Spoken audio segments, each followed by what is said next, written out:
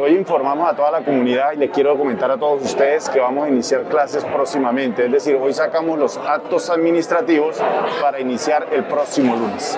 Sabemos que van a ingresar no solamente los niños del sector educativo oficial, sino los del sector privado. En el sector oficial estamos dando las condiciones. Hay instituciones educativas que ya pueden retornar a la presencialidad, pero otras estamos en el proceso de adecuación y mejoramiento de las mismas. No van a ingresar el 100% de los niños, sí van a ingresar el 100% de los docentes y administrativos pero los niños van a ser en forma gradual y segura. Pero adicionalmente les vamos a entregar alcohol a cada niño, les vamos a tener a cada institución educativa todos los elementos de protección y prevención para que los niños se laven las manos, tengan su secado personalizado, tengan sus baterías de baños adecuadas.